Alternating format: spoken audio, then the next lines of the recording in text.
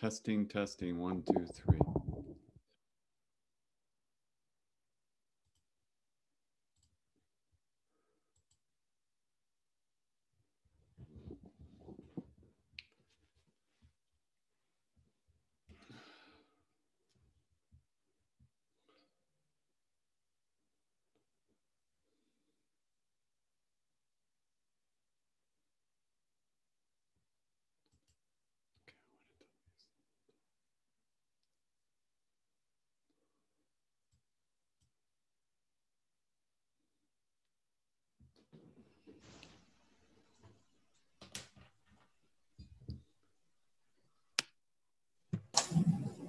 Morning. Hi, Sean. How are you? Good, Tom. How you doing? Very good, thanks. How's going on? Okay, let me see. Pull this up. And chat. And middle. Middle.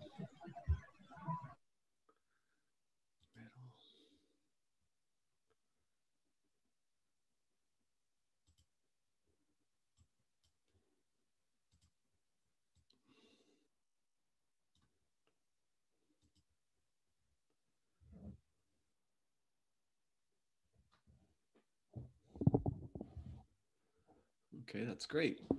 Okay, so uh, hopefully everybody, uh, it's been a couple of weeks, I guess, uh, since we really. uh, so hopefully everybody was doing okay, got a little bit of uh, a break, and then you had the test, which probably didn't give you much of a break. So uh, probably didn't seem that way. I don't know. It didn't seem like much of a break to me either. Usually, usually it does, but this time it didn't. All right. Um, so what I wanted to do today was uh, I'm going to go over a few things from the uh, from the uh, video lectures that I sent out, but then I want to spend a little bit of time at the end for the assignment. So any I want to so anybody that's thinking of questions that they want or they want to ask, uh, maybe in the next little bit. I won't do that till towards uh, the last half of the lecture. Uh, but uh, you can think, ponder it in the meantime and write down some um, questions. And that way I can help. And that way it also saves me 500 emails. Trying to be smart on this. Uh, so yeah, and um, I'm sure there's also a lot of people that they have not had group people respond and that sort of thing. Um, so I'm at the point now where if somebody has not responded to your group uh, up to this point, I would just, if they all of a sudden show up out of nowhere, send them to me and I'll deal with them separately. Because um, I think it's too late now at this point, all of a sudden, for somebody to show up that they haven't participated or done anything. Unless you as a group feel, because you're late at it, that it's okay, then that's fine with me. But uh, I think I don't want you to put, uh, uh, have people in your group that didn't do anything. You know what I mean? So, um, uh, if that's the if that's kind of the consensus then you can send them to me and i'll figure out something uh, alternative thing for them to do i don't necessarily cast everybody out it's just uh, uh some people procrastinate too long i think especially with online so um, i'm learning to figure out different things for that uh, but yeah and so then maybe by the end of this week if there's anybody that uh, then you've you've decided well our group really is only these three people uh, you can uh, send that to me and then where i can go through the groups and just sort of take those ones that aren't out of the group so that then at least i know what i'm dealing with as far as trying to help them in a different way. Um, so we can deal with it that way. I don't want somebody else's problem to become the, the group's problem at this point. Uh, but as I said, you know, if it's like, well, we're late at this too, so yeah, more the mer- merrier. Well, that's fine. You can deal with it that way as well. So I'll give you that option. Um, okay, so as I said, I'll, I'll start out and I'll do a little bit of uh, what the video uh, recordings were on this week, and then we'll get into talking about the uh, assignment. There's a few things in the video recording that kind of after I did it, I thought, oh, I should should do this. I should say this. I should say this, and that's okay because I can do it now, right? Um, so uh, I'm just going to go to the lecture, and I think as Can you see that on the screen now, the PowerPoints? Okay. All right, so I think uh, chapter 11 of your textbook really is about building systems. And so it's really a, about um, the, the systems that you have uh, in a house. And we have a lot of systems in our house. We have, you know, our electrical systems, we have our plumbing systems, we have our heating, ventilation, air conditioning systems. That's what HVAC stands for. And more and more uh, than ever, they also kind of integrate with each other. You know, you can operate your thermostat uh, from uh, another continent if you want to. Um, so uh, they definitely uh, integrate depending on uh, how sophisticated your system is.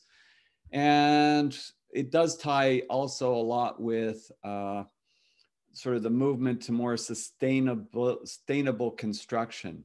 All right. Um, so it does tie to um, that. Um, Graham just put a chat note, which is true. Course enrollment for semester two opens um, November 26th at noon. So I guess they'll have the schedules finalized for that by then. Actually, I thought it was sooner, but I guess it's not till November 26th. Okay. Uh, so we have our uh, building systems. And so there are two systems uh, that I talk about in the first video was the uh, plumbing and HVAC systems. And of course, this has been a question I've been getting on the assignment, uh, especially I think uh, on the construction. Uh, we'll talk about it later, but you know, an organizational chart is something like this. This is actually a project chart, more or less the reporting structure for a particular um, project, right? It's not, this is not that sophisticated or necessarily complete, but it definitely gives you the idea for a typical design, bid, build kind of contract. So this would be more um, structured if you want to think about it. Maybe you think that, oh, I want to build a custom home. So you go, you buy the property, you're the homeowner, so you're the owner. And then you say, okay, well, I want to I want to build a custom home. So maybe you then go to a architect, generally in our contracts referred to as a consultant, right? Um, we could do it under different contract types. We could go to a construction manager that we want to oversee the project. It could be different ones, but in this case, let's assume it's an architect, right? Uh, that's probably the most typical custom home. And I hire them and they do a design that's going to fit the house on my property, kind of like the stuff we talked about um, near the beginning. That was in um, chapter five, uh, where you have to get a permit. So they have to do a design that is going to um, fit the property, fit the zoning requirements, etc. But they're also going to do up a set of drawings and specifications that people can bid on the project. So they'll they'll if they're hired by the owner, for more than just the design, because the owner could just hire them for the design. But if they're hired for more than the design, they will also take care of soliciting bids and reviewing the bids with the actual owner to determine if who's the best uh, contractor to do the project. And being a private project, it doesn't necessarily go to the lowest um, bidder, right? Because you're the homeowner. It's like maybe you don't get a good vibe from one of the contractors. And so maybe you want to go with a different contractor, even though they may be a little bit more expensive.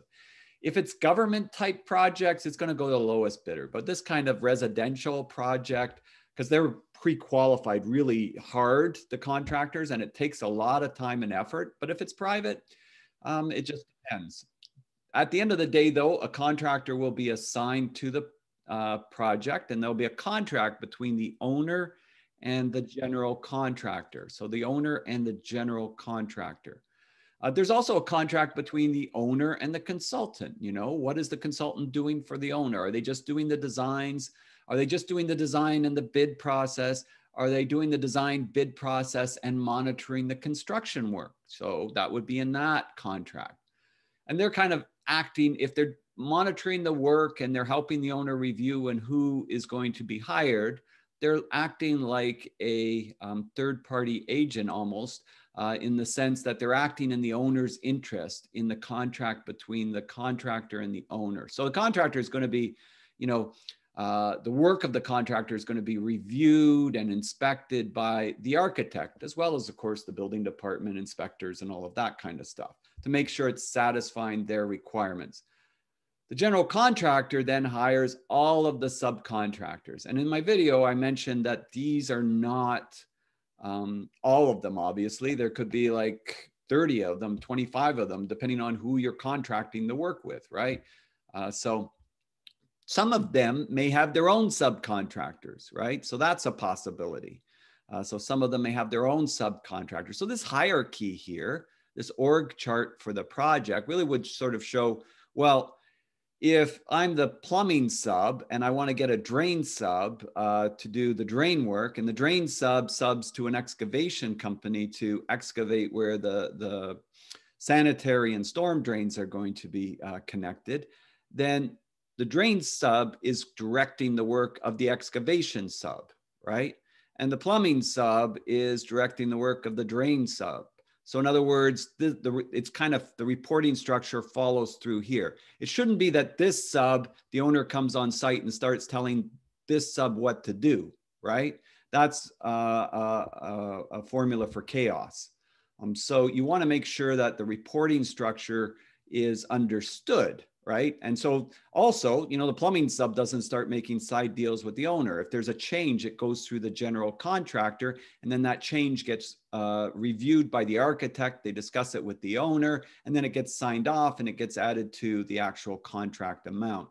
So, you know, if we're talking about an org chart, that's for a project. Now, I think in the other uh, assignment, um, it, it may be that I asked for an org chart uh, for, um, I may ask for the org chart for the, uh, for the um, business itself. Well, that's different. So then that's your business.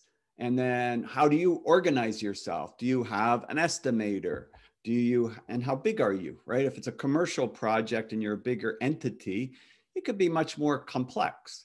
If you're a smaller company, it probably is not so uh, complex. You're going to have you know your estimating team you're going to have your uh, your project managers your site supers your project coordinators going to be a little bit more simplified in that way uh, than a very large entity might be.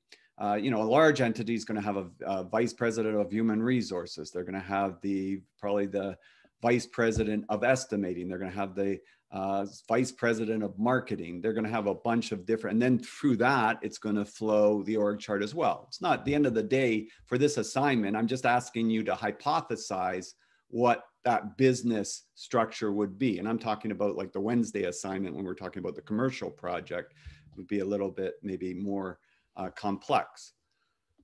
I'm just asking you to think that through. And if it's an org chart, because I've been getting a lot of emails, what's an org chart? It kind of looks like this kind of aspect and who reports to who. This is a project based one. So this is, and this is, this is very typical of what we call design, bid, build, lump sum type project, right? Um, so this is very typical of that. And that's probably the most common methodology um, used for projects overall. So just wanted to spend a little bit of time on that because I don't think it was as clear maybe in the, the video. So I sort of added that. Is there any questions on that?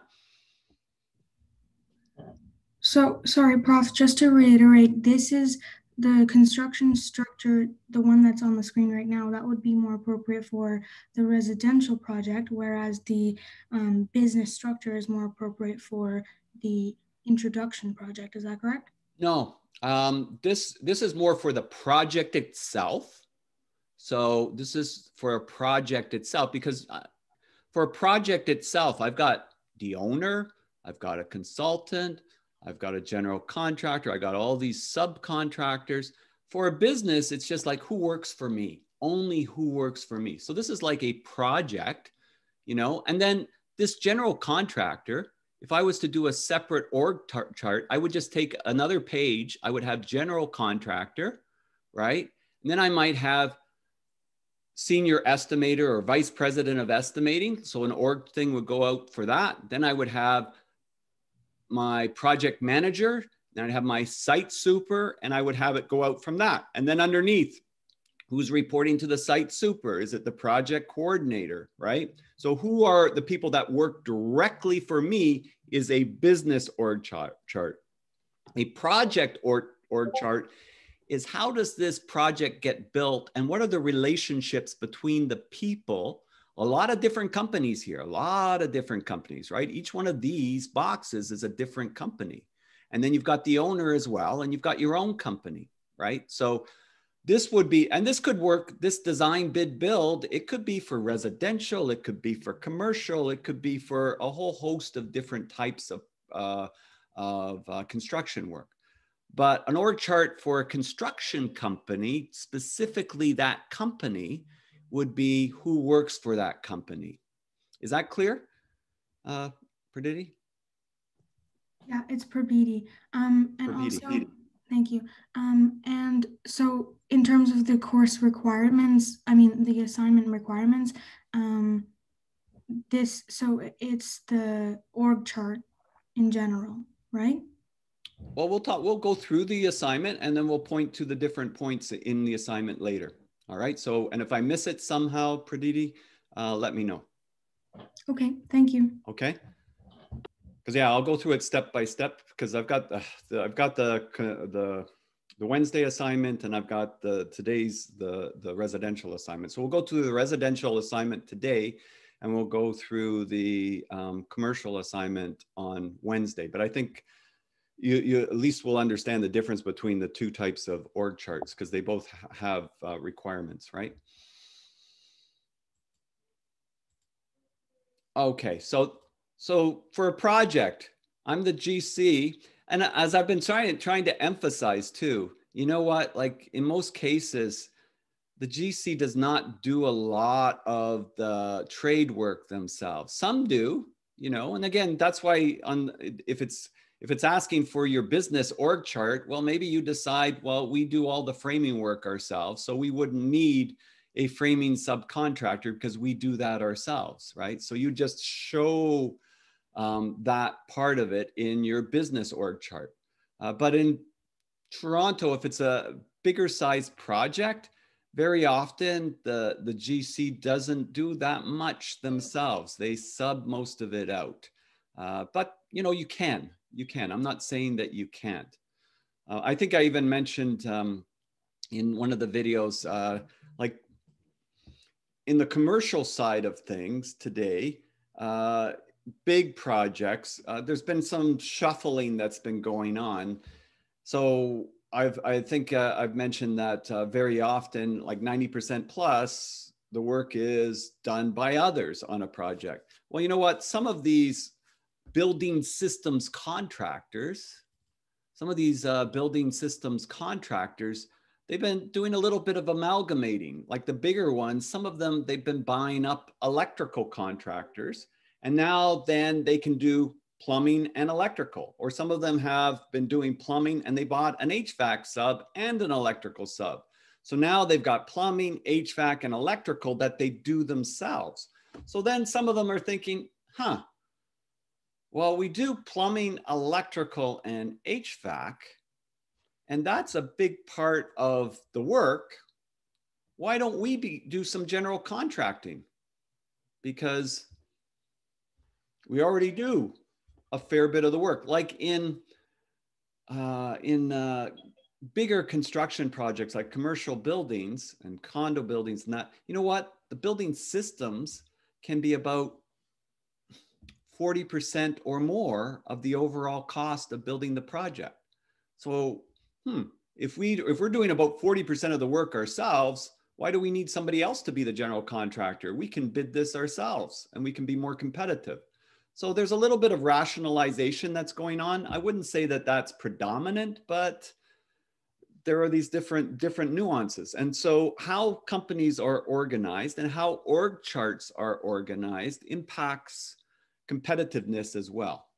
So it's, it's good to have a, an understanding of how they um, work and how they structure themselves that way and why they might do that that way. Why would a, um, why would a state electric want to buy a huge HVAC and plumbing company because they want to amalgamate them and they feel they'll be more competitive.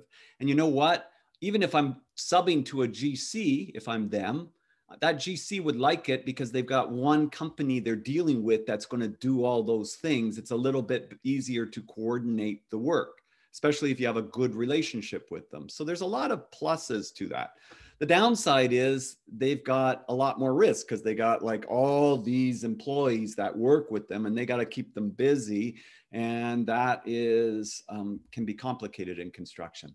So that's the downside. That's why, why that's one of the reasons why a lot of GCs they prefer that they don't have so many direct employees doing the trades work. It's less risk involved, and they don't have to worry if there's a downtime. Well, they don't. They're not paying anybody for not working, or they're not having to pay them, uh, you know, when they let them go, etc.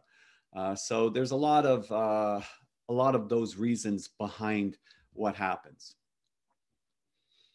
Like 50 years ago, a lot more was self-performed by a general contractor than today. Let's put it that way.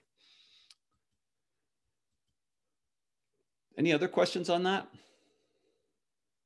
Sorry, guys, I don't know about that security deposit stuff, unfortunately. Um, you know who will, though? Um, uh, uh, Venice will know, your sort of support person.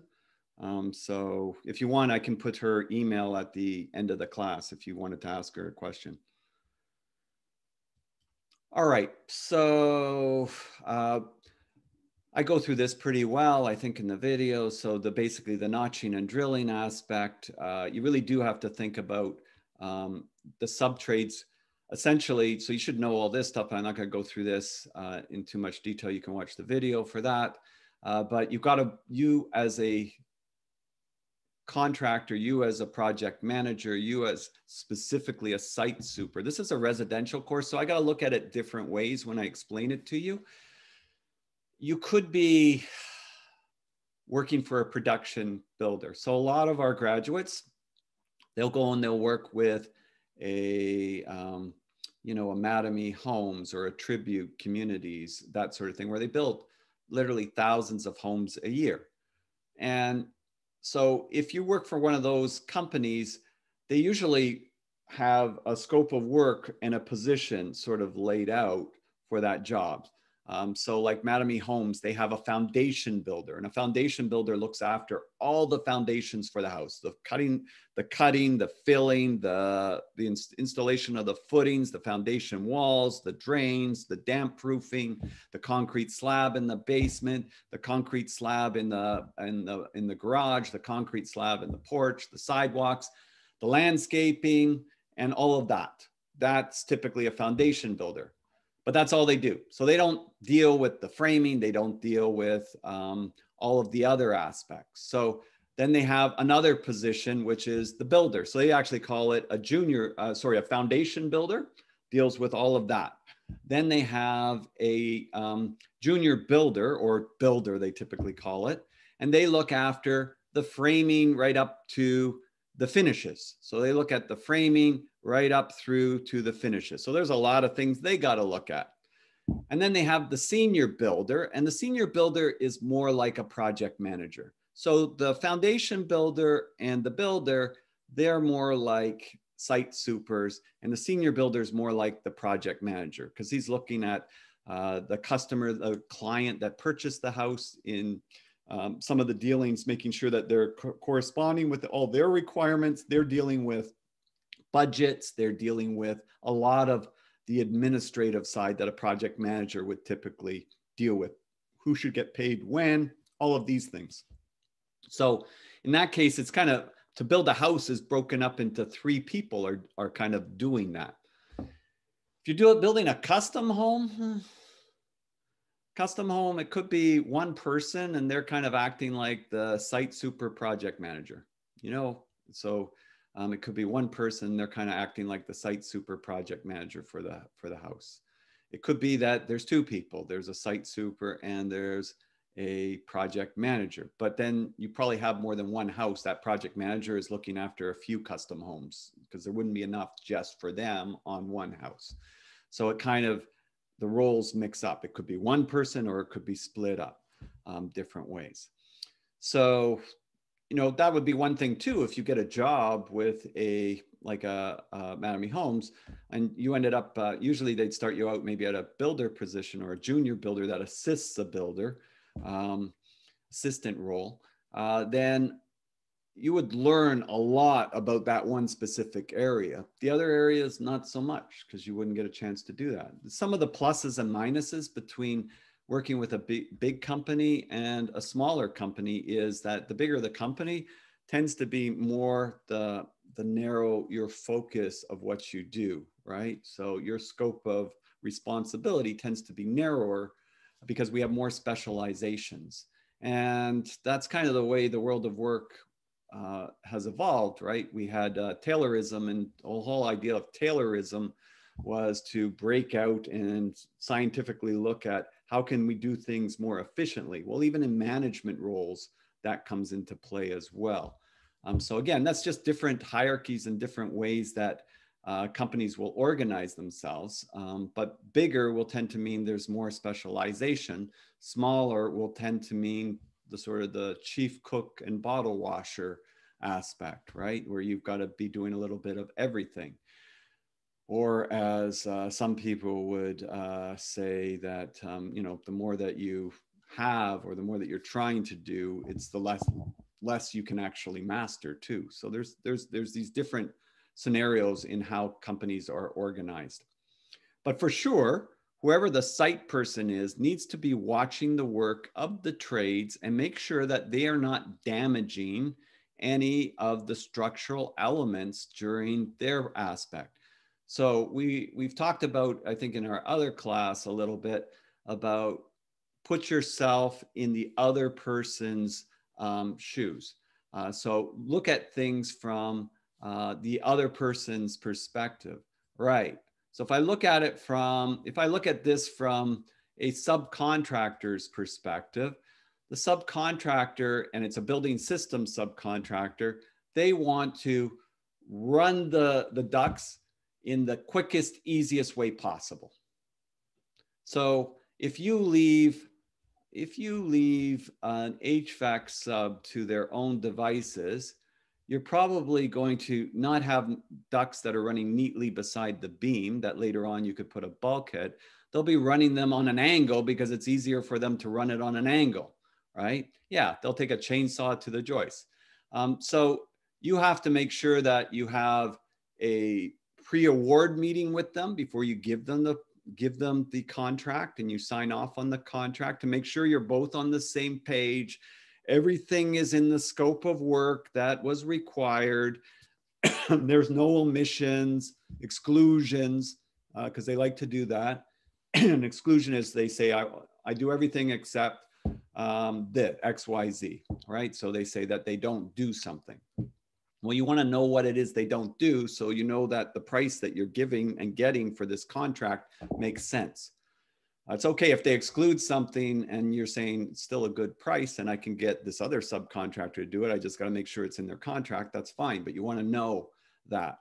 And then pre-construction, I always would have a meeting with the three building systems trades and I would discuss the duct runs and the plumbing runs in particular to try to make sure that there wasn't any conflicts ahead of time because plumbing, certain plumbing pipes have to go in a certain place. If my toilet is in a certain spot, it has to go in that spot, right? So um, if I take a look at, uh, if I take a look at this example here, I've got a powder room. There's a toilet. Well, you know what? The waste pipe for the toilet, it has to be right in that spot. I can't have a duct running in that spot. But if I don't have these conversations and I don't go through it with the subcontractors and somehow the HVAC sub is in there first, then you know what? I'm going to find a duct in that spot and it's going to be in the way. And then that's going to have to be changed. And then that's rework. And then somebody's not happy and that's causing problems and issues. So you have to be very proactive in the coordination to make sure that everybody is understanding that. And you may have some problems just with the design, the structural design. Remember the direction of the joist? That maybe it's difficult for the HVAC sub to get a duct to a certain spot.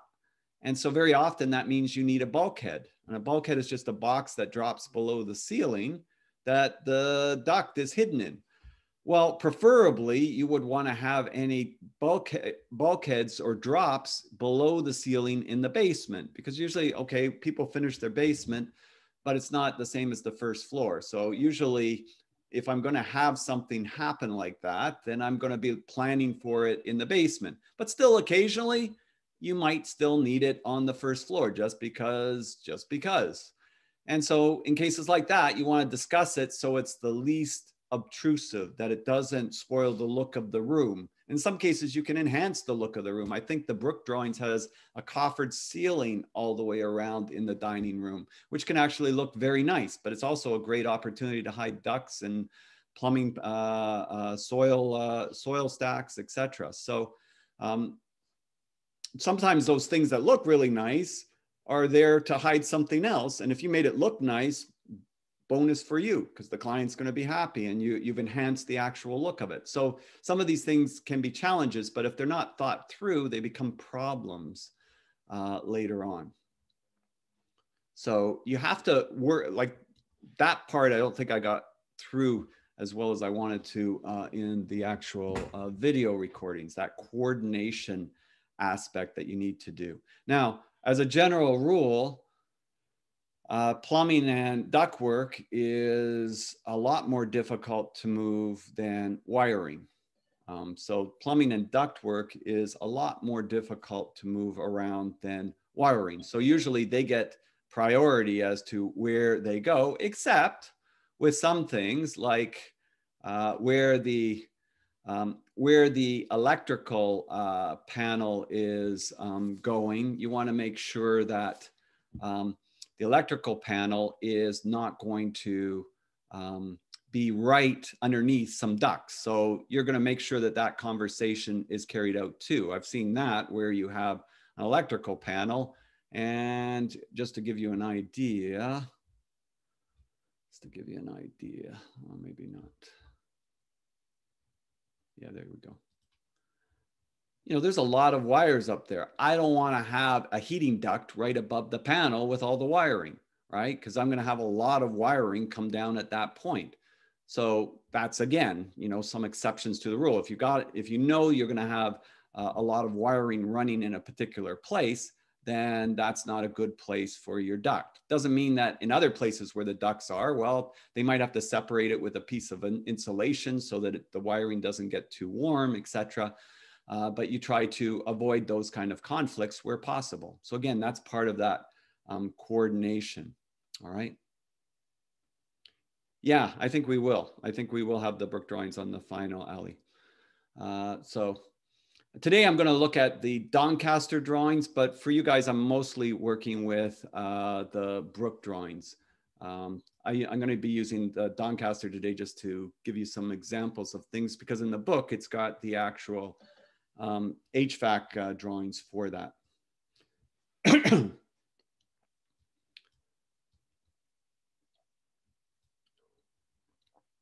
okay, so that making sense so far? You guys okay so far with that?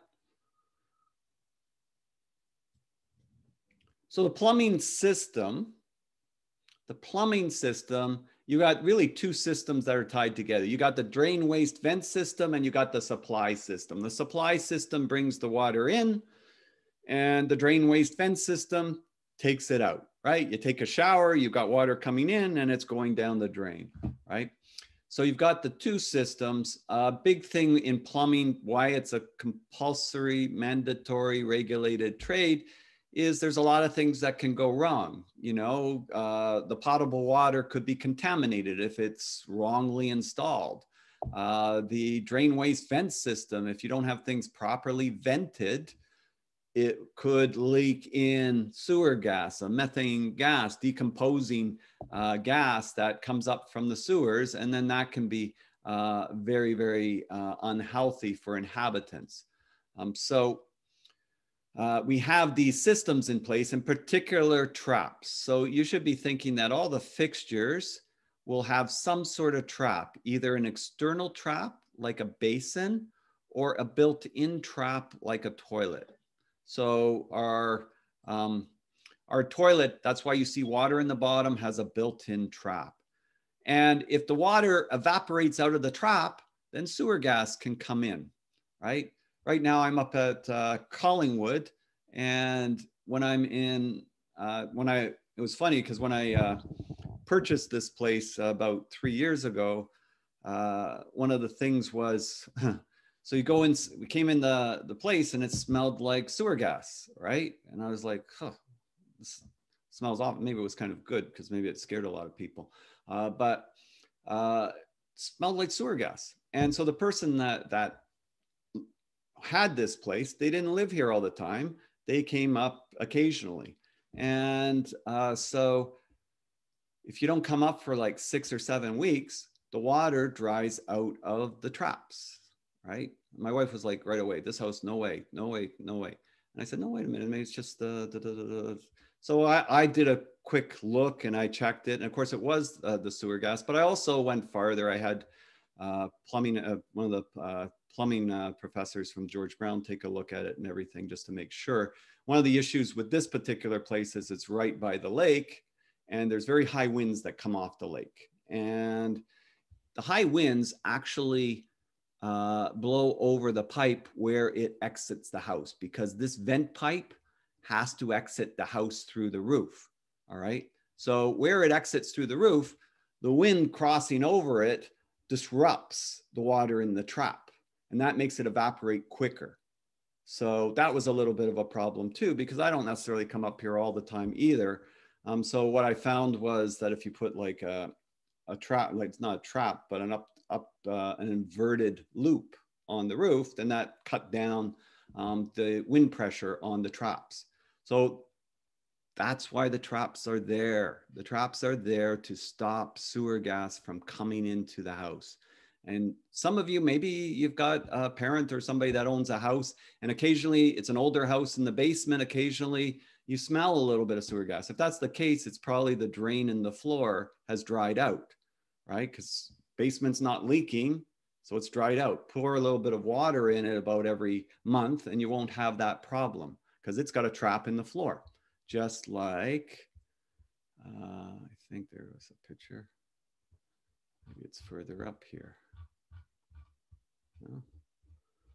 There's a picture here somewhere. Just like this. So you've got a trap in your floor drain. Now we also have a trap seal primer in newer houses. By newer, I mean they've had this for about 30 years that they always put it in. Uh, but anything older than that, like in Toronto, which is a lot, um, won't have that trap seal primer. Every time you turn on the laundry tub faucet, some water goes into this trap. The other thing is if you have a high efficiency furnace, there's usually a condensate um, line and a little bit of water will flow into the trap. But there's still times of year where you might not have enough of that going on um, to um, resolve those issues. So keeping that up helps that way. All right. Um, and most of our uh, our water supply systems now use PEX, which is a form of plastic. Um, uh, you can get it, I can probably not pronounce it properly, but basically it's a, it's a compound that's used for the piping system. Uh, older homes always used copper, but copper's kind of gotten pretty expensive. So they're using this um, PEX uh, uh, tubing, which is very easy and quick to install. Uh, hopefully in 10 years, they won't say there's some sort of water problem with it dissolving into the, the water. I don't know, but that's what they're using right now. Uh, okay, so that's kind of the plumbing aspect that I went over. Uh, now, I just wanted to go through the HVAC a little bit. I kind of go through this in the video, so I'm not going to spend too much, but just so you know, this is the Doncaster house. So this is the ductwork in the Doncaster house. And then in your book, this is the HVAC shop drawings for how the HVAC sub is going to install the heating, ventilation, air conditioning system. So it's got where the furnace is going to be installed. And it's got basically uh, the duct runs and the return runs. All right. So returns are where the air comes back into the furnace and the supplies are where it comes out of the furnace or air conditioner. So if we're looking at this, there's your furnace here. It hasn't got the cover on the, on the face of it. There's a blower and the blower sucks air out of the bottom and blows it out of the top. And then of course, um, you've got your, your um, heating component that if it's gas, it's a gas heating component that is going to um, heat that air, warm it, and blow it up through the top. And warm air rises, so that makes it a lot easier because it's basically using physics to its advantage to push the warm air where it needs to go. And while it's pushing, it's also sucking cooler air from the rooms to displace and come back in to be reheated. So in our house, we have cold air returns or return air ducts, probably a better way to say it, and supply ducts. Supply ducts will typically be located underneath windows, doors, sliding doors, where they lose the most, where the building loses the most heat. And our buildings are the least uh, efficient at doors and windows. So like an, the R value of a wall, right? The R value of a wall might have a resistance to heat loss of say R25, uh, and a window might have a resistance to heat loss of a really efficient window might have a resistance to heat loss of like R4. Um, so big difference. So you usually lose a lot more heat out of your windows and doors than you do your walls. So to compensate for that, they will uh, have the supplies come out below the window.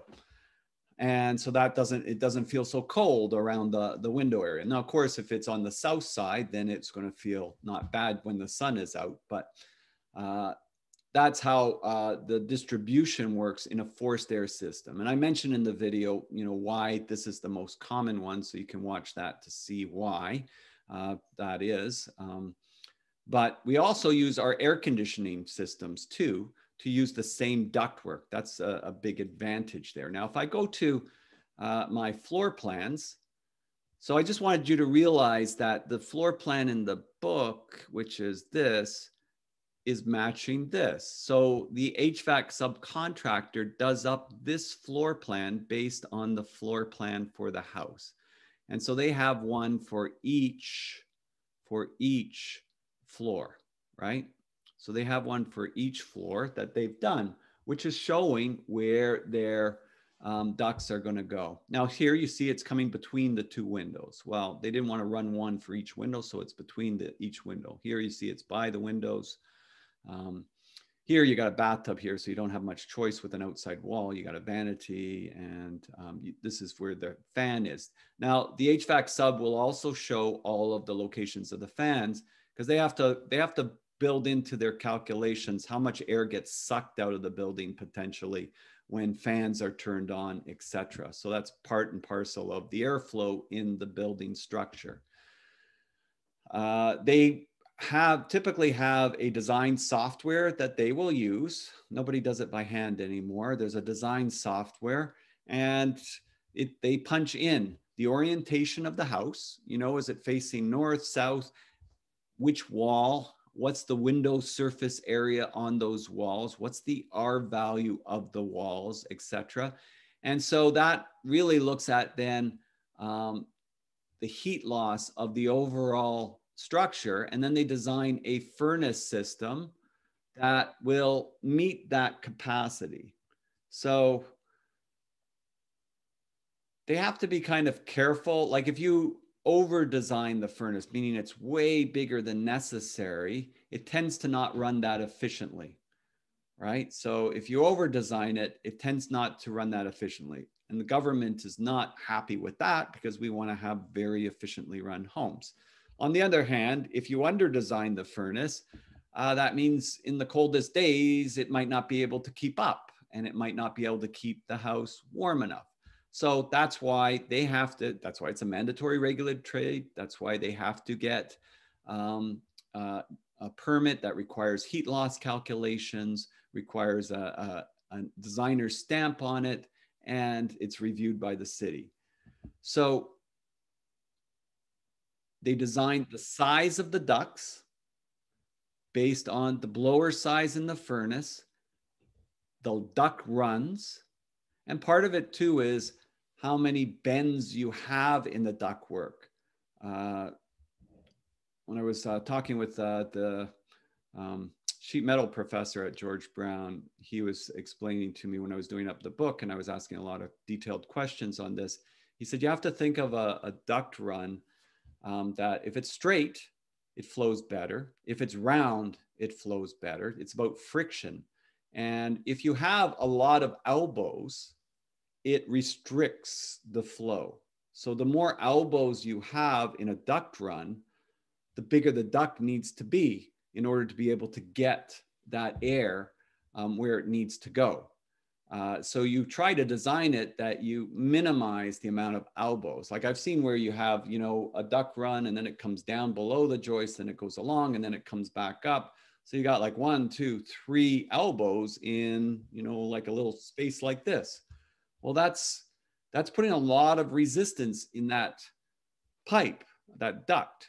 And so um, he said that you you could pretty much think of one elbow being like 10 feet of straight run you're adding to the duct, right? So one elbow is like adding 10 feet of straight run by friction, the amount of friction it causes to the airflow. So you try to design it that you have as few of those, but you got to work, unfortunately, you got to also work around all of the joists, the beams, and you got to figure out what's the best way to run this and minimize the elbows. And if you can have a large trunk run that you feed off of so you can get it with large capacity to another end of the house, then that's going to be very helpful uh, in minimizing the re resistance that goes on. So, and then also with that, you want to try to minimize you know, that you don't have ducts in the middle of the ceiling. Like here, you've got it beside the steel beam. So if this room is being finished at some later point, you could drop a, a bulkhead down below and across to the other side here and make it one kind of uh, drop instead of having a whole bunch of different drops and then having a whole pile of bulkheads that the ceiling is just a mess. You can try to minimize uh, what it'll look like later when you finish it. So you've got this challenge because a lot of HVAC subs they don't think about that because that's not their business. Unfortunately, uh, they kind of know it, but if they can see, well, it's easier for me to run it this way, and this this uh, this guy's not telling me anything different, I'm just going to run it the easy way. Uh, so you got to have those discussions in mind, trying to ensure that you have the best layouts. That number one, it's going to get the heat to where it needs to go, or the air conditioning, the cool air to where it needs to go. And number two, you can finish it later in new housing, production housing, a lot of times they don't give you a finished basement. So even the builder doesn't really care because they're long gone. And now, three, four years later, you want to finish the basement. Now you got all these ducts everywhere that it's difficult to build around. Um, so uh, that becomes um, uh, the problem, right? So you got you need to work that out. This this particular one, you can kind of see it here. Uh, it goes into the bottom of the furnace. If it goes into the bottom of the furnace, this is the cold air return. Cold air returns just get filled in between the joists. They don't necessarily get sealed tight the way the supply air ducts do. They get taped up and they get sealed up that you want to try to make sure that that supply air gets exactly where it's going. You can kind of see where this duct run kind of crosses back over through here. And it should be based on there. There's where you see it coming back across. See that coming back across there? Um, that is that duct run coming there and coming back across. So that's this is the actual Doncaster and this is the drawing of how they've laid it out. And then there would be feeder lines coming off of that. So your supply lines would um, come off of that. And then when it says six inch or it says four, uh, if it says six inch or um, if it doesn't say six inch, it's five inch, right? If it doesn't give you a size, then it's five inch. Unless it's, of course, it's um, like a, a, main duct run, then it'll be whatever it's designed to be, like 14 by eight in this case. Um, so the returns, and then if you see return R or return high wall or return low wall, that's a return duct. So a return duct looks like this. It's just cut open, drywall's on both sides. There's openings in the floor and that offers the air to go uh, be sucked back to the furnace. So this would be sucked through here. It would fill in over here because this is actually right above that and the floor above, and then it'll go back into the furnace. You're really limited by whatever value it has by the openings in this wall, right? So uh, that would be that. On the second floor, uh, you see where it says return high wall. So I didn't get into this in the video, but the high wall, they have the return at the top. Now it makes a lot of sense uh, in, and in this case, they had one on the top and one on the bottom is what they did. Um, in the summer, you have a lot of problem. Does anybody have a problem with it being uh, in your, um, if you live in a house with the second floor when it's really hot out, being warm, even though you got air conditioning, even though you got air conditioning? Well, you're, you're trying to work against physics. You're trying to push cool air to the second floor. It's harder to push the cool air in this to the second floor than it is. The warm air wants to rise. The cool air wants to um, stay low. So ha by having uh, the high wall, the return on the high wall, well, it makes it easier if it's sucking to suck the warm air. The warm air is going to be up at the ceiling. So it's going to be easier to suck that, right? So you're, it's right there. So it'll try to suck that down while you're pushing up the cool air, but it's still more difficult. It's still more difficult. Usually you end up having to have the first floor a lot cooler so that you can sleep at night with the second floor reasonably cool.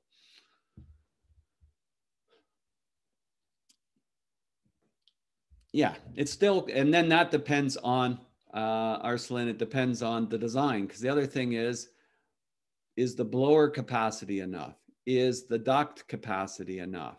Is the furnace located in an ideal, spot.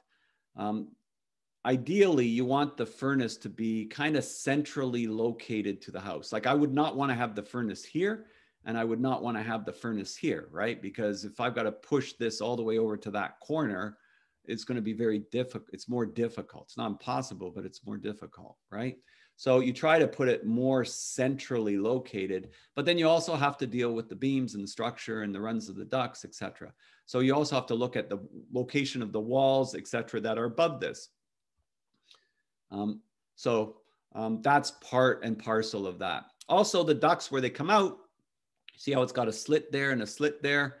Well, that's where it comes out on the floor above, right? So that means 16 and 14, they come out in the floor above. So that's going to be on the first floor where you'll see the supply grills, right? Um, so that's where they're coming out. Where you see a slit again, well, that's where these are going to come out. This one here on an angle, this one here, this one here, they're going to come out on the second floor. See, there's the one on the angle. There's those ones, right? So that's how um, the supply lines are working with um, that. And as I said, they usually try to put them on a, at a window, but again, there's some cases, you know, you got uh, this is the shower, this is the fan above the toilet. I got no real place I want to put it there, and it's not going to look too good right in front of the tub, so they end up putting it there. Okay. So just giving you a good sense of it, and then this is a sort of a BIM cross section of um, the ductwork uh, in the actual. So this is again the Doncaster house. You can see it's working its its way around, the steel beam, right? And then the joist changed direction at this point, and then it's coming up inside the wall. So this is kind of showing how um, it got, because it's showing the cut through of the powder room here. Um, so that's where we are. So we're close. It means the cut through that it's showing is pretty much um, through here. Through here. So you could see the powder room and how it's getting the supply to the second floor, which is there. So that's what that is showing here, getting that supply to um, the second floor. So it's just showing at that cut through what you actually see. There's a lot more going on, Um, this is just a cut through of a BIM uh, drawing. This was done by uh, one of the architectural students that I had at one point, and uh, um, he was really good on this uh, stuff. Uh, so really, um, uh, that's we'll talk about actually BIM a little bit on Wednesday. And I know NACSHAB, that's, you ever want to talk to anybody about BIM, NACSHAB's uh, a good source. You'll also have um, Petrol, who's in your program teaching too, to source a lot of details on the, the BIM drawing aspects. So that's kind of that, that part. Uh, any questions on the plumbing and HVAC before I quickly um, go on the electrical? Would an architect consider HVAC or would they see the placement of ducts as somebody else's problem?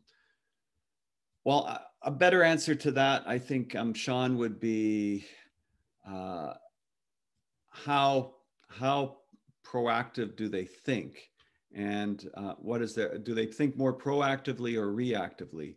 Because sooner or later, somebody else's problem becomes their problem when there is no other way to run a duct, and they don't want to have any bulkheads, right? So that can become somebody else's problem. The biggest problem is though, very often once they have, in the early parts of the design, they don't consult with an HVAC sub typically.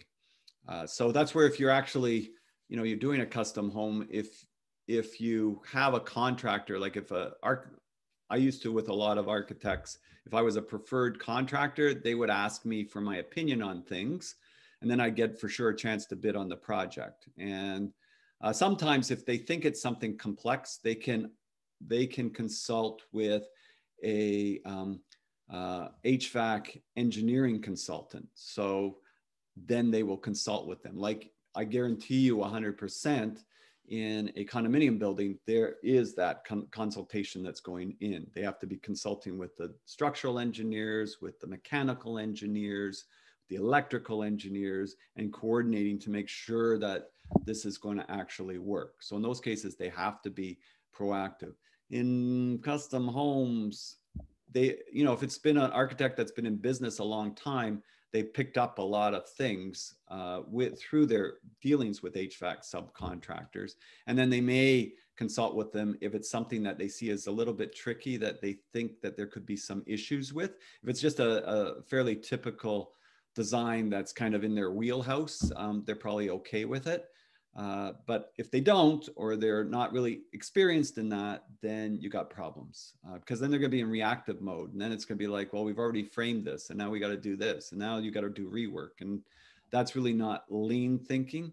Uh, I'm going to bring up lean in Wednesday in the other class, but the idea is to have more collaboration early on to reduce rework and frustration uh, later on. So I guess that would be uh, my uh, answer um, for that. Okay, yeah. Um, so uh, watch the videos because a lot of stuff I'm not explaining on this, right? So I'm just trying to fill in any gaps that maybe I didn't uh, get in the videos or clarify things as well. Uh, and I'll post this one too because uh, of my explanation of the org chart stuff at the beginning might be helpful if anybody needs to go back and what did he say on this? What did he say on that? Uh, okay, so the electrical side of things, you know, electrical is very complex as well, and it's a it's a mandatory regulated trade. Uh, so uh, we have to again do that, and there's basic there's you know um, a certificate of qualification for electricians. There's a master's electrician license to run an electrical business. Uh, and for a variety of reasons, not the least of which is people get electrocuted and it causes fires. Uh, so, and I included a, a, pretty good section, I think, on um, sort of the history of uh, how electrical wiring has changed over time. Many of you too get into renovations and other things, uh, and uh, you run into a lot of different conditions. So you should know uh, what and why in sort of the time period. So I get into that in the um, video, especially the, the knob and tube and even the two wiring, uh, the way that it was. Also, uh, ARC uh, fault protection. So, sorry, all ARC fault, uh, uh, ARC fault circuit interrupters, uh, more new than ground fault circuit interrupters. And these protect buildings from little arcs that might happen in wires that might spark and cause a fire. Uh, so it helps to protect buildings and the, the electrical code. That's the one thing I want to establish. The electrical code, the plumbing code, um, the uh, mechanical HVAC uh, code requirements, they're changing as I speak. So you always have to consult with an expert in these areas and any changes they should be apprised of. Sometimes they get caught because the changes happen very quickly. Uh, but ground fault circuit interrupters protect people, measuring the flow out and the flow in, milliamps, the difference, and it should cut off. Uh, whereas this uh, will cut off if there's a spark. And I get into that in, in the video. So um, I get into that in a lot more uh, detail that way. Uh, so our wiring uh, becomes uh, an issue and it's easier though from a coordination issue. I think what we run into some problems too sometimes is with uh, pot light layouts and trying to get them exactly even on a ceiling, which doesn't necessarily work out depending on joist spacing because where the joists are. There's a lot more flexibility with different types of pot lights now. Uh, they're LEDs typically, very low uh, energy consumption. They let off a lot less heat than the older pot lights um, used to. Um, so uh, there's a lot of really fantastic kind of lighting systems that are that have been coming on the market really in the last uh, three years, I would say. Uh, so there's a lot of uh, changes that way, which is also requiring less energy consumption, which is great, and the price has dramatically dropped uh, with LEDs. So that's that's providing a lot of creative um, opportunities with lighting. Uh, the other thing that I, I, get into too is the aspect of um, and I get into this in the green sort of systems area because I talk about uh, green building and green systems uh, a little bit is also uh, thinking about uh, vehicles, charging for vehicles and their requirements. Uh, so um, I had to educate myself a little bit on this more recently. And because um, uh, it's, I, it's not yet mandatory in the building code, but I will be surprised if it's not very soon mandatory in the building code that you would, in a new house, have to put a plug-in uh, um, outlet for a charging, a future charging station that you want to um, put for your vehicle. And so uh, the little bit of background that I did, I went to the Ministry of Transportation website, kind of gives you a sort of an overview of the difference between electric vehicles and gasoline vehicles and what you might spend on the difference in gas.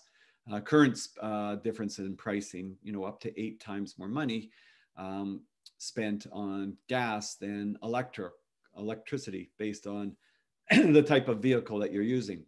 So that's a pretty good incentive there, although electrical vehicles still tend to be a little bit more expensive. Prices are dropping and changes coming about. Uh, so I think you're going to see a lot of uh, changes that way. And uh, you're building new houses, that's how building codes change, right? So circumstances change. Well, you want to make, you don't want to make it that you've undersized a panel or somebody has to run a wire and open up their basement ceiling and stuff in a brand new house or two or three year old house when there should have been an outlet there. If you want to have a gas vehicle, still fine, but there's an outlet there if in future. And usually these things are very inexpensive overall to do when you're building a new house. So um, when you're doing it later after the fact, it's a lot, you know, it's maybe three or four times as expensive as when you're doing it brand new. Uh, so that, that comes into it. So there's usually different charging levels uh, you can plug into a regular outlet, but I think that's kind of nonsense if you're going to only get uh, about one out. What does it say? It's a it was crazy the amount. Um, level one, 15 amp. That's a regular outlet. Uh, adds about eight kilometers of range per hour. Okay, that's as good if you're visiting your your mother-in-law and you're desperate and you need a charge, um, but you're not going to do that if you live at if it's your house. So level two charging. Uh, is in public uh, places a 240 volts. So 240 volt, I explained in the video, is what you'd need for your stove. It's what you'd need for your dryer, um, those types of things. And then it's either 30 amps if it's like for a dryer or 40 amps if it's for a stove. And so this is saying similar to a dry, dryer. And then you would get 30 to 50 kilometers of range per hour, which probably means that, you know, you come home at eight o'clock at night, you leave at six o'clock in the morning, uh, you're going to get about 500 kilometers of charge. So I think a Tesla is around that uh, in a full charge. So that would probably do you. Of course, charging stations are, are taking a higher voltage system. Uh, whether that would be standard in a house, probably not. But for charging centers, that probably would because you need a quick charge and it's much faster to do that. And there, the technology as I speak is changing. So, um, uh, but these are becoming um, standardized. The good thing is my understanding when I checked is that the plugs, uh, like the, the, the hookups then for your station that you plug into this, it's pretty standard. So it's not a big deal that um, between vehicles or that sort of thing. You just have to get the right plug uh, between, but it's not a big deal. So that was kind of on that. And I kind of go through the other areas of green building. So I think that's um, pretty much uh, the uh, areas. So make sure that you go through the videos because I do spend some time going through this and that should clarify it. I'm not giving this short shrift. I just wanted to make sure people were clear on those um, parts. And there's plenty of explanation in those other parts. And anything that you find really you want to dive deep on, you can you can do a little bit of extra on your own. Like if there's something that that really is like I didn't know that and you wanted to find more about it, I encourage you to to do that. Okay, so why don't we take a short break and that'll give you a little bit of time. I'm just going to go stop share and then I'm going to go screen share again. And we have your residential construction technology assignment. Uh, so give you a few minutes. Uh, people have been emailing me. So my preference is that, you know, take a few minutes. If there's uh, uh some questions I can help you with or answer here or clarify for this, that will be very helpful. This one's not due for uh, what the 23rd. So this one you got a little bit of time on. We've got um, two weeks on. So again, I'll, I'll, leave some time next week too if you have some questions. Uh, but I am trying to minimize maybe the emails um, so that way I don't have, I, you can still email me, but first make sure you've looked at the video on the assignment and then also, you know, take notes for what questions you get I answer here and I will post this video lecture too. Um, so that because uh, I this semester I have like 400 students altogether, and when I get everybody just every two seconds flying off with an email, uh, it's hard for me to keep up. Uh, so that's all I'm saying uh, that way. So I'm going to try to help you answer any questions uh, here and next week on this one um, that way.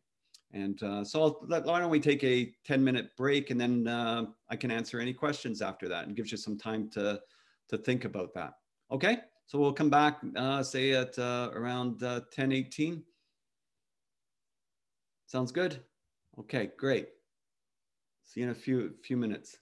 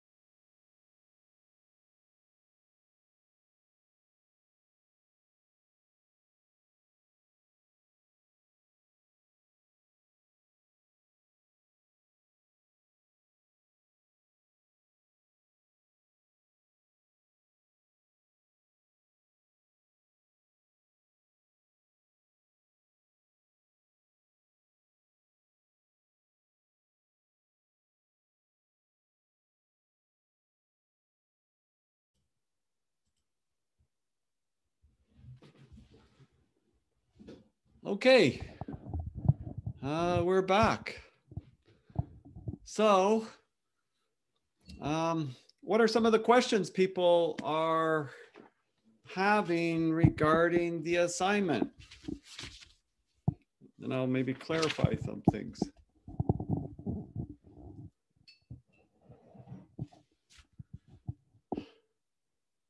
So what should we do if we do not see any changes in our houses? Yes, I will upload it for you, Shaquille. It might take me till tomorrow, but I will upload it. And if for some reason I don't, you're going to remind me on Wednesday, right? Okay, perfect. Um, what should we do if we do not see any changes in our houses? Well, you know what? If you've taken pictures for five weeks and it you you got custom homes, right? Um, uh, so if there's four houses and nothing's happened to any of the four, then I would look at what stage is that house at? Um, is it the foundation? Is it the framing? Is it the brickwork? Is it the windows? Like whereabouts are they in the work? And just say, well, obviously they must have had uh, one or other of these problems. So let's say they're at the foundation, they didn't start the framing there's obviously a problem with them getting the framing crews here in the, the time frame. I'm not aware, we're not aware of whether this was because the project, uh, the foundation is ahead of schedule, or if there's some financial issue, or if the project wasn't properly organized. But then you at least explain why you think this house was not, nothing was done over the five week period. So that's all you have to do there. Um, number two, prepare a detailed description of the residential project using the Brook drawings as signed in class. So you're just going to describe the project. I would look at, you know, in the Brook drawings, it, it, you can see how many square feet it is. You can see a bunch of detailed information about that particular project. You should be able to describe it. If you're not really sure, you know what? Um, who's asking that question? Um, Gabe. If you're not really sure, Gabe, too, you know what? uh, you could you could um, uh, Google realestate.com. Uh, you could download the app on your uh, phone. So as an example, realtor.ca, realtor.ca. So I'm just trying to pull that up. Uh, and you know what? So you've got, you've got like a house, right? So you just uh, click on a house and you say, all right, so there's this house, right? And it describes the house. What do they say? General description. What kind of stuff do they say about this house, right? So you could look at that. Okay, so what could I say about the Brook House that's similar that describes the house? You could, you know, go through, then it goes property info. Well, pretty much on your drawings, you can see uh, maybe not the, the land size, but because I didn't give you a site plan, but you can see it's got an attached garage. You can see uh, a lot of the typical information there, and that will give you an idea of how to write up the description for it. So you can look at it, well, how do they describe a house when they're trying to sell it? Does that make sense? For number two? Yeah, it does. Thanks, sir. Okay, great.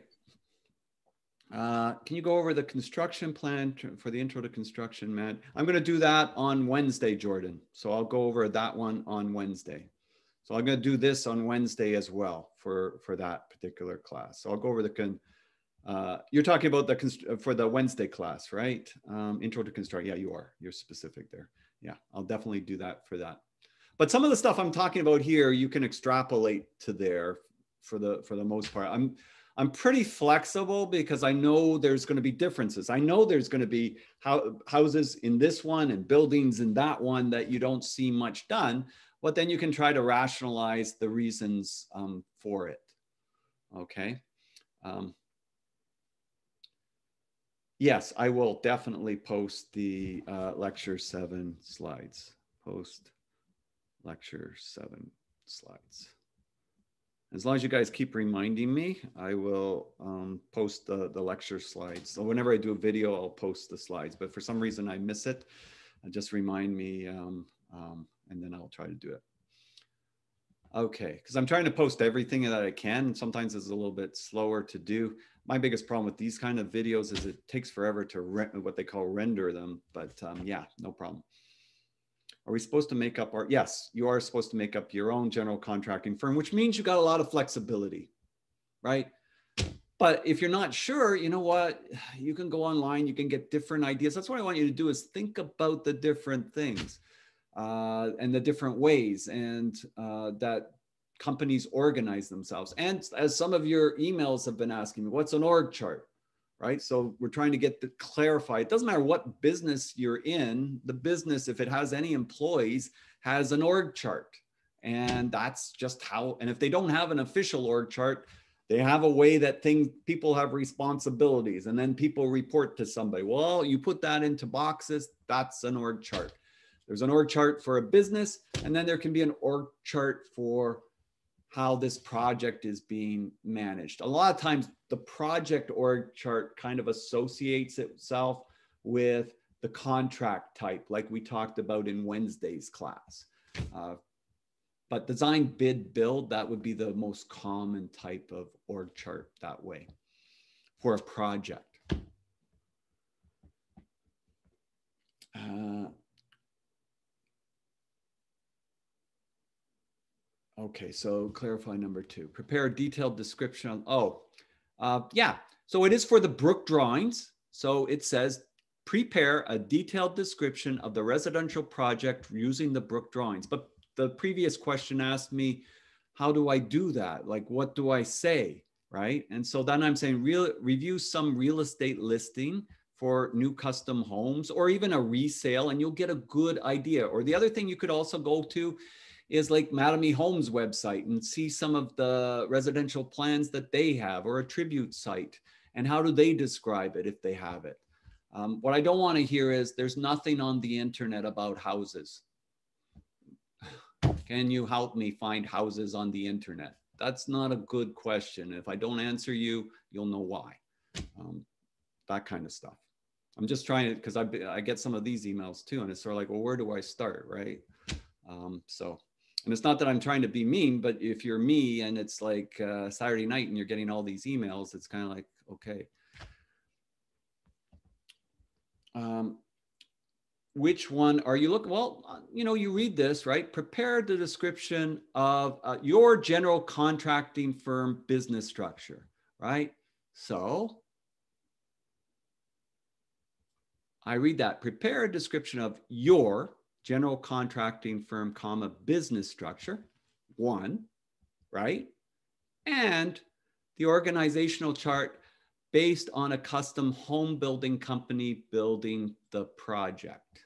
So in this case, I would look at providing two, all right?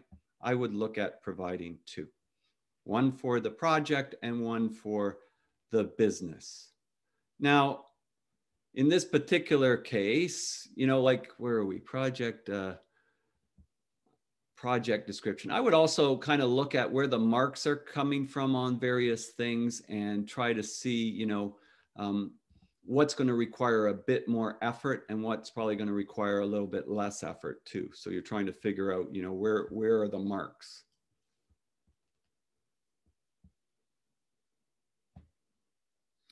Question for how do we identify the timeline for each trade and how long each trade should take to be in the house?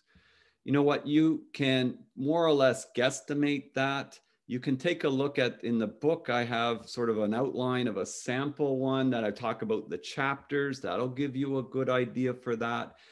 Um, so I'm not going to be cr highly critical to say to you, Vittorio, you allowed three weeks for framing. You should have only allowed one week.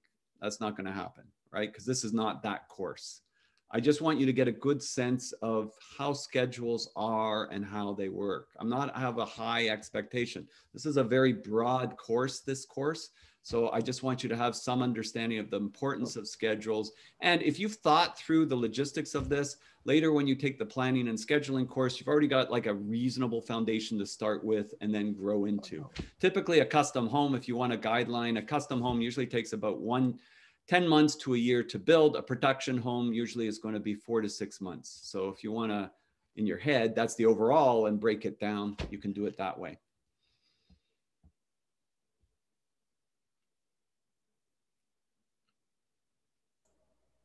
Hi, sir. I had a question. Um, it's kind of like regarding three and four. Um, it kind of looks like three and four are very similar. However, three is asking for just like to list a subcontractor. Yeah, each- you know what?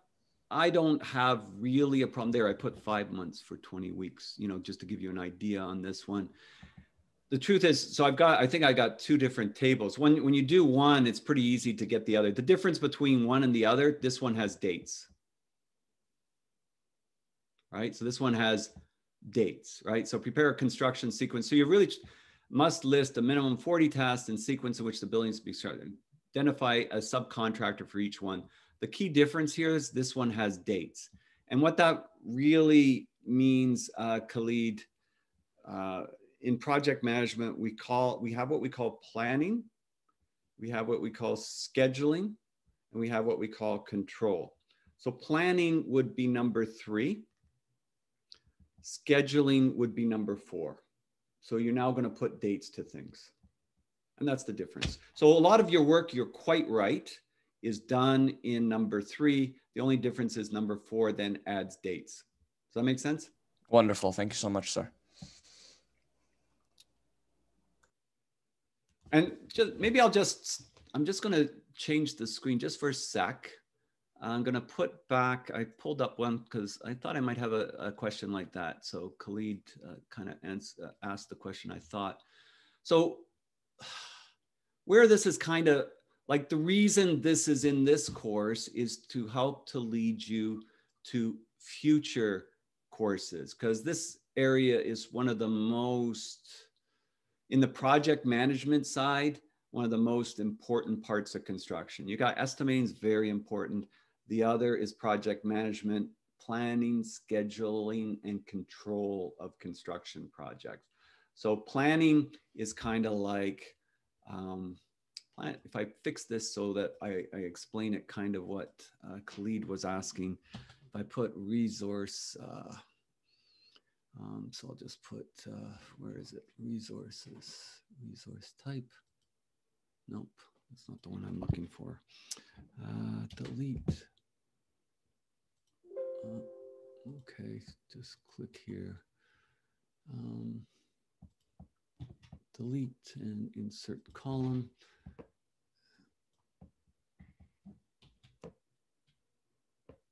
No, it's not coming up. Okay. Try that again.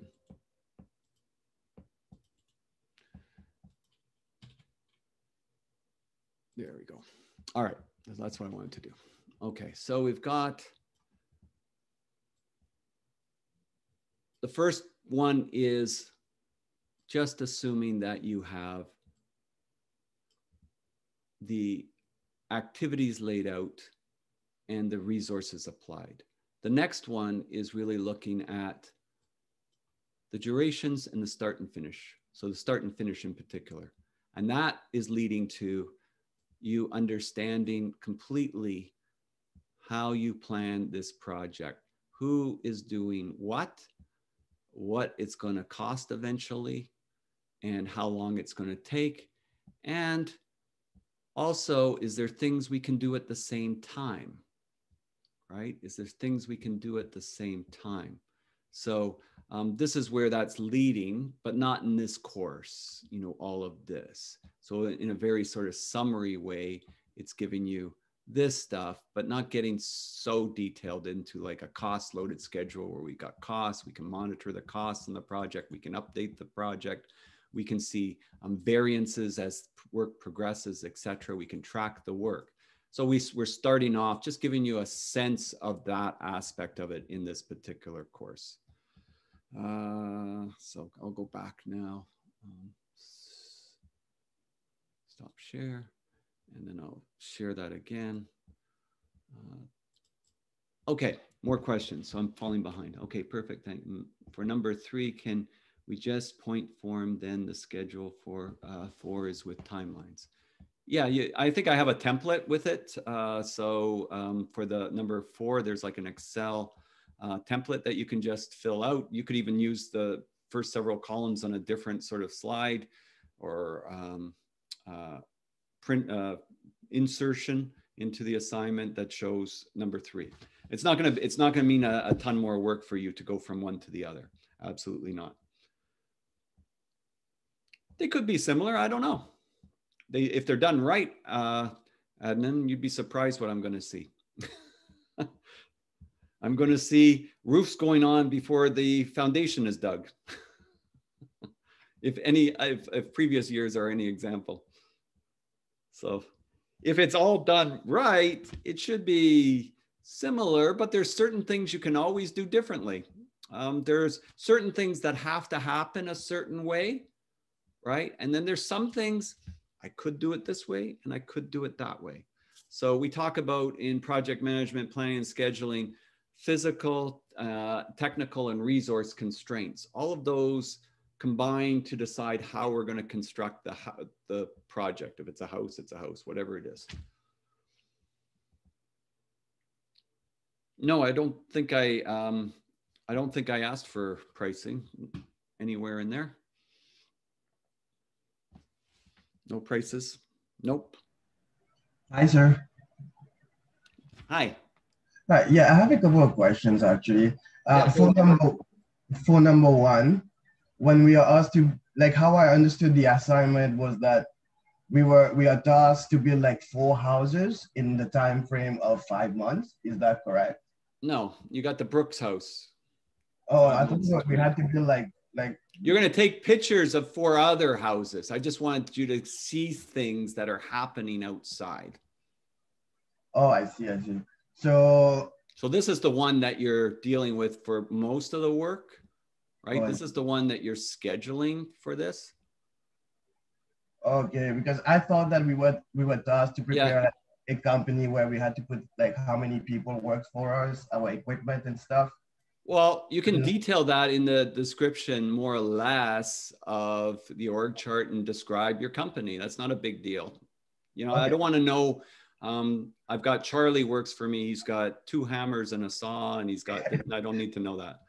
Oh, uh, but how about like uh, excavators? Like if we have free excavators or two of these stuff. You don't have to get into that level of detail. You could say okay. that if for some reason your company started as an excavation company and you're now building custom homes, you could say that, but you don't need to um, get into that detail.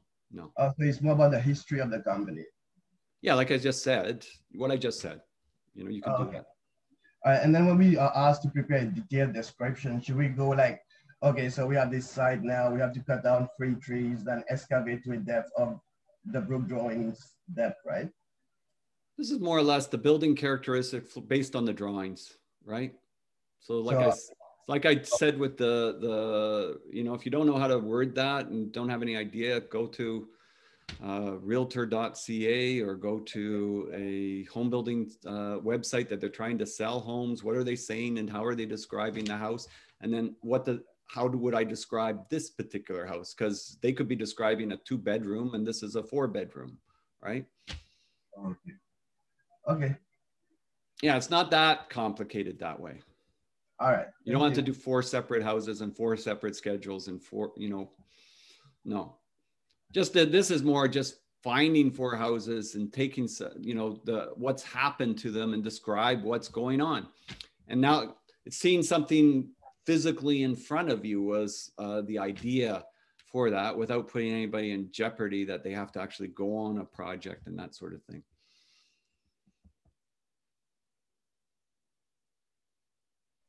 I see. Thank you, sir. Okay.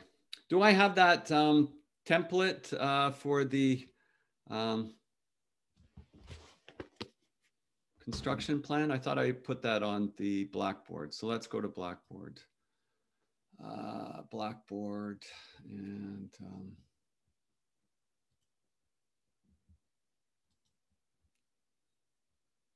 log in. 57. Okay, and Blackboard, no, uh, major assignment.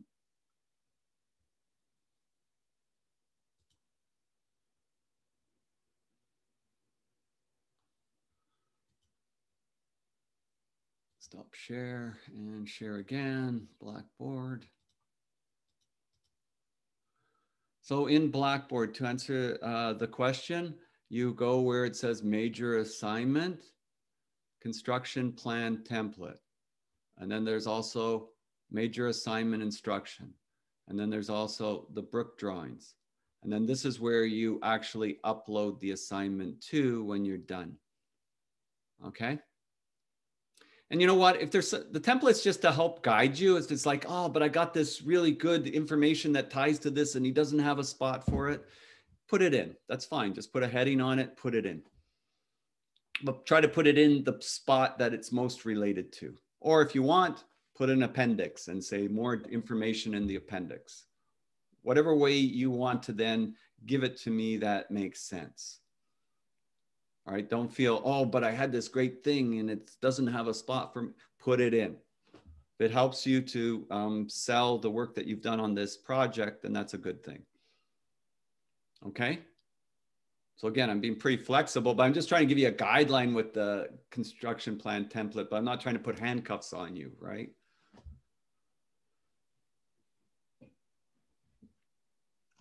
Hey, Tom, I think what uh, Noah was asking there is for the actual, like for our group, we just made our own Excel template, but I think he was asking the one that's in the assignment plan that you like that template, it's just a picture of the Excel spreadsheet. I think he's asking, is oh, there really? an actual Excel file? Oh, okay. Maybe I didn't load the run. This is the overall template. Um, maybe you're right. Uh, okay. And oh no, I got this stuff going on. Okay, so I'm in here. Uh, so I saw that.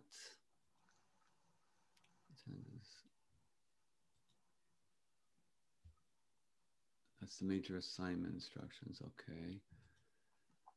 Uh, yeah, you know what? I think I don't have the Excel spreadsheet. Huh. Okay, let me fix that. I'll make it easier. Um, yeah, because you're right. In the assignment, it's got the spreadsheet, what it looks like, right?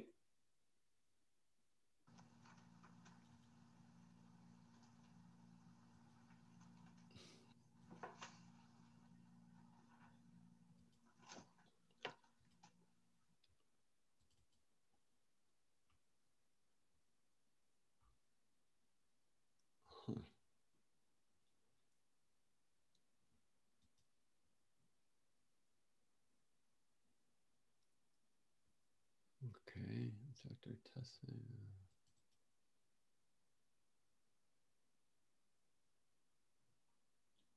Interesting.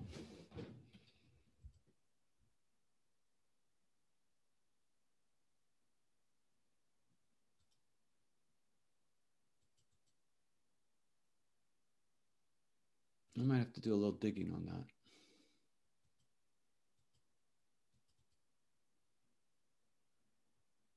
Like it's not hard to duplicate the the spreadsheet that's for sure. Um, even if you saw the picture which is in here but i did have one that was that you could just fill out so i don't seem to see it right now for some reason. Uh, and if you've already done it and you've just duplicated it from the thing then you're fine. You don't have to worry about that. Uh,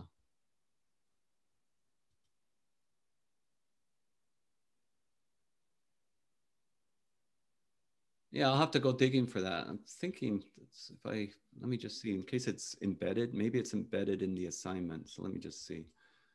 Maybe that's what it was. Uh,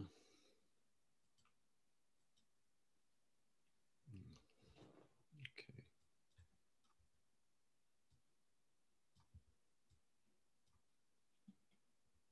Um, Just looking for it one more time. Where's that assignment?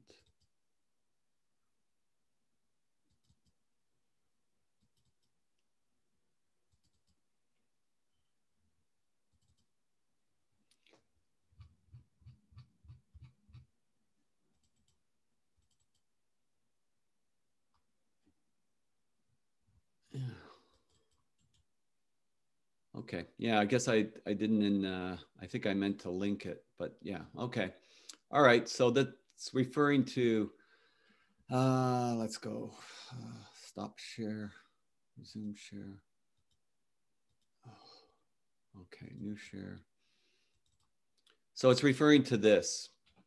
Like it's not a big deal in Excel to make this, you know, it's just a series of numbers and the tasks and the weeks above, but I, I'll see if I can find it and just upload it.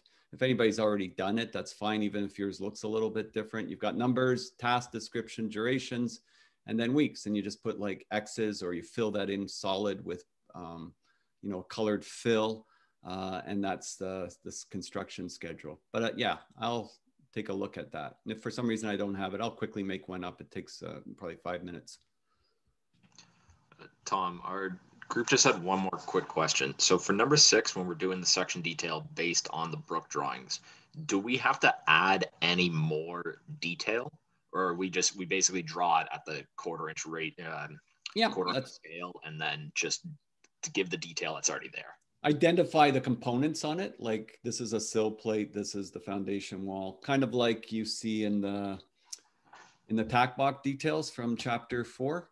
You don't have to do whole paragraphs, but just identify. Yeah, but just little arrows and say like this is a rafter. This is okay. Yeah, exactly. All right, great. Thank you. Exactly.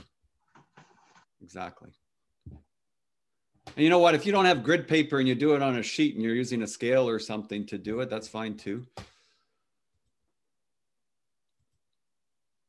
I think you guys are, are doing different sketches and stuff in your probably your course with Nakshab, I would imagine. So again, I'm not making this. I. I just want to make sure that you kind of have a, a good idea of what you're looking at when you look through the different details. So I want you to be applying some of these things that you we've been discussing and learning about, and really sort of digging deep to think about them. Okay, um, so the other thing I wanted to say too was on the presentation. And I think I'll talk a little bit more about the presentation next week, but just to get you um, thinking about uh, the presentation, I would be thinking about uh, with the presentation, try if you have a camera that works, to try to use that camera during the presentation. I think it makes it a lot more personal um, that way. I understand some people may not be able to do that. Um, that's fine, but I would strongly encourage you to do that because that's how you get better at um, sort of presenting this information. It's also, it makes it a lot more personal that way. That um, it's how we get to know each other online when we're using this kind of mechanism. Uh, I, I know in the business world, uh, 90% of uh, people that are interacting at meetings are interacting with a um, camera. Uh, so um, we should try to, uh, at least when we're doing a presentation, do that, or at least when, you know, if possible, when you ask questions too, I would get, try to encourage you to do that a little bit more. We're not everybody's on agreement with me on this, like other faculty may not be, but I really think my experience in the business world is trying to make a personal connection, even if we have to do it through a video, it's still better that way. You know, I just had a meeting last week with the Mechanical Contractors Association, and there was about six of us on the meeting everybody's camera was on. And you know what? Some of them i hadn't met before but now i feel like i know them. But if i don't if i've never seen the face i'm not sure that same connection. Um, is there it just helps you to better emphasize your point what you're trying to get across. And also to try to you know when you're saying something to look into the camera. If you're talking to the slide then that's fine. But you know at certain points to try to look up and to um, uh, say what it is that you want to get across. It's it's uh, something that builds your ability so that when you get out there, whether it's in person or whether it's there's this stuff. I don't think it's going to go away now after the pandemic or not. I think there's going to be a lot more um, video conferencing. Do you know how much time is wasted in Toronto with consultants and with uh, subcontractors and that having to travel to a meeting, they're not going to want to sit an hour and a half in traffic if they can just do uh, this for that particular meeting. There's still going to be live meetings and everything, don't get me wrong, but I think there's going to be a lot more of this when things settle down. So uh, just because it is a pretty efficient way of doing that. Uh, at that meeting I was at last week, you know, three of them said, yeah, if this was in the, if this wasn't uh, during the pandemic, we probably wouldn't be able to make this meeting because we'd be too busy to drive where you would be having the meeting. So um, it's just trying to build up those kind of uh, skill sets on, on that aspect. You know what? So I know some people do not like to present, whether you're on camera, whether you're, uh, you know, in person, probably in person even more so. Uh, that can be a, a, fear, but over time, you know what? The more you do it, the better you get. And one of my favorite uh, leaders, um, who has who had their own issues, um, uh, to be sure, was uh, Winston Churchill. And when I was reading this book on uh, presenting, they listed this presentation that he did in like 1908 uh, when he was elected to parliament and he, he had to do this presentation and he forgot his lines he forgot the speech and he was like a, uh, a babbling guy up there and the newspapers jumped all over him. This winston young winston churchill is mentally inept not suitable for parliament right in the headlines. So he made a vow to himself after that that he was going to get good at presentations and he was already good at writing but he wasn't good at presentation. He worked at it he worked at it he worked at it and then became one of the best uh, speech givers of the 20th century. By the time World War II rolled around, he was the right person for the right job. Steve Jobs was not very good in the early days of doing presentations. Some of his earlier presentations were horrible. Worked very hard, but before he would do a presentation on the iPhone or the iPad, worked weeks on it to get really good at that process. And over time, he became known as one of the best presenters going. Um, so it doesn't matter where you are in the spectrum. Um, and this is uh, school, and I'm pretty easygoing with that that aspect. So you don't have to be all stressed out about it, right? So, uh, and uh, if anybody if anybody wants to laugh at you, they should look in the mirror because they got lots of problems themselves. So um, I wouldn't put undue stress on yourself about this, um, and just but try to prepare, try to take some time with it. I'm expecting all kinds of uh, technological problems myself with this. We'll figure it out. Okay, so um, that's um, that's where I'm at with that.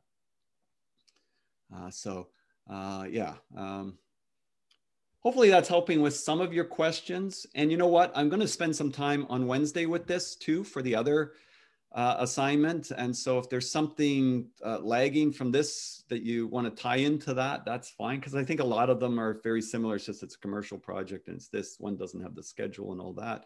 Uh, the Wednesday one's a little bit less uh, involved than this one overall, because this one's um, uh, carries a little bit um, more of the mark, if I remember. but yeah, I think there's a lot of things, similar things going on. Now, the last thing I just wanted to say, I said it at the beginning, is if there are people that have not contacted your group and they seem to be AWOL, uh, and all of a sudden, you know, this is what happens the two nights before the uh, presentation is due and the assignment is due. Uh, there's this desperate uh, person trying to get into the group. Well, you know what? If they didn't do anything up to this point, and you have nothing for them to do and to participate in, to say, sorry, you'll have to talk to Mr. Stephenson and he'll um, talk to you about it, right? And so then I'll have to figure out something. Uh, there's a few, I, I'm quite sure that, remember I said that there's some people that probably aren't in the course. Uh, yeah, there are, but there's not a lot of them. Actually, I, I'd say retention in this course is very, very high uh, higher than if we were in person because I can tell by who wrote the midterm, right? So who didn't write it and who wrote it, and there's a lot of people that wrote it. So uh, likely there, but there seems to be a lot of group members that wrote it that aren't contacting other group members. Why I don't know. Uh, so I'll have to deal with that um, at some point with those particular individuals. Unfortunately, I guess that's kind of my mess to deal with um, that way. Okay, so maybe if, um, yeah. And so what do we got? Uh, reminder to upload the questions for the quiz in the midterm. Yeah, I'm not going to, the quiz and, oh, to, uh, oh, yeah, the, the upcoming quiz, Arsalan, yeah. I've, I'm a little bit behind on that, so that might not happen till Wednesday. The midterm exam, the questions with the answers probably won't come up for another couple of weeks because again, I've got a, a few laggards I've got to deal with before I um, post that part of it. But yeah, I'll try to get the quiz questions for this week up soon. Okay, so does that bring us up to date? I think so. And uh, so that's good. So I'll see everybody on Wednesday. And before you, you know, fire off an email with a, a, question, if it's something that I've answered or in the the video, make sure you've checked that before, you know, uh, that way I don't get 400 emails. um, not that I'm discouraging you, but you can ask questions. But uh, sometimes I think it's it's so easy to do, right, Austin? Uh, yeah. Um, I know you said you were going to talk about this on a Wednesday, but number nine um, of the rubric, putting the photos and noting changes that take place. Um, can you just kind of describe that a little bit? Because well, there's because there's four houses. Sorry, go ahead. Well, number nine in this in this today's or in Wednesdays? Uh, no, no, today's class. Okay, uh, number nine. So let's do it. Uh, number nine. Number nine. Okay, so put the photos and note changes taking place. The president compares your work did in part one to the actual houses being built, where in the schedule these houses are in the construction process. Okay, so you did up the schedule over here for the Brook drawings. You've been taking house, pictures of different houses. So the Brook drawing somewhere in it, if it's a house to a house, is your pictures of the foundation work going on. So that would compare to the Brook Drawing Foundation, right? So you're going to basically um, note changes uh, that have happened over the five weeks and whereabouts this is in the process. And you could compare it to, you know, the Brook Drawing. This is like activity number 16 in the Brook House, except this is this house, right? So similarities, differences. This house is going to be an EIFS house. It's an exterior insulated finish system, stucco. The one in the Brook drawings is brick veneer. That's the difference, right? Um, this house has a flat roof. The Brook drawings has a sloped roof, uh, cottage roof, those types of things.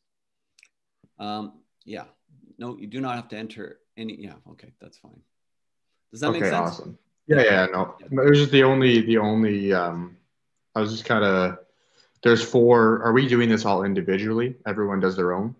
I'm going to market one. So I'm going to market one. So I would have somebody in the group try to synthesize and put things together that it looks like it's a nice flow and then get the other people to check it that they're happy with it, so to speak. Uh, and if somebody gives you something, well, it's not quite enough detail, maybe you want to add this. You work collaboratively to try to have a nice uh, project at the end of the day. That's why I'm also trying to say I don't want somebody that jumps in at the last minute that didn't do anything to be part of the group, right? There's going to be definitely some people that do more than others, and that's you know what the way the world kind of spins. And generally, too, when I look at things like the quizzes and the tests, there's usually a big spread. And you can usually tell the ones that typically do the work and the ones that don't. And so that changes the marks there as well. So usually at the end of the day, there is still a pretty good spectrum in grades for those of you that worry about that. Okay, thank you. It's like a house. You've got a house and there's some, you've got some really good subcontractors and you got this lousy subcontractor and you're trying to, to compensate. And um, you might have some rework and re-edits and that sort of thing.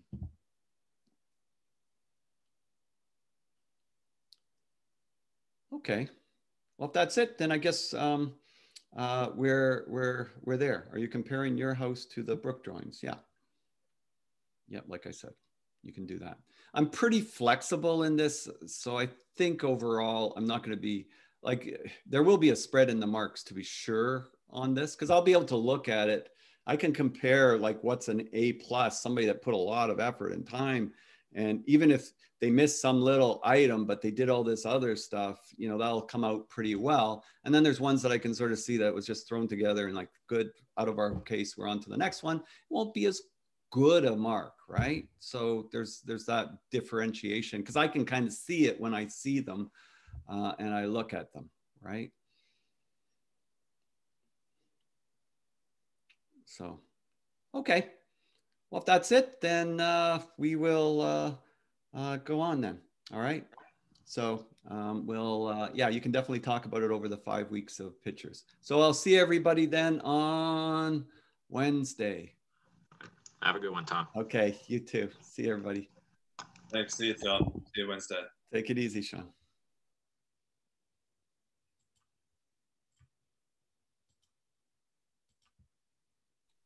Uh, hey, sir, I just got a question for you. Yeah. Uh, can you add uh, this week's uh, lecture notes on Blackboard, please? Yes. Thank you. Have a good week. Okay. Lecture notes And the video, this video as well. I better put this video too. There's a lot in this.